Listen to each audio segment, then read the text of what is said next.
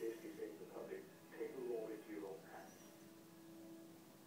cannot take the risk that my children will be harmed. They didn't me. A sentence for burglary. That burglary. Side do you come down on? Do you feel you should be able to protect your property? Or do you feel sympathy?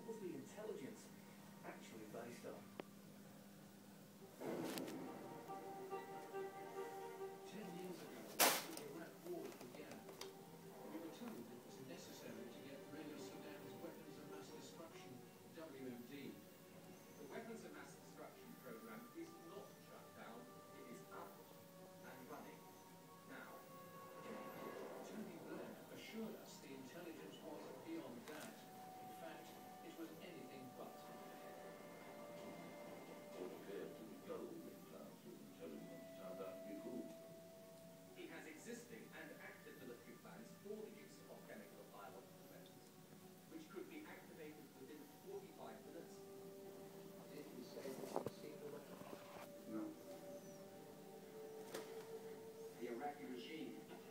Has plotted to develop anthrax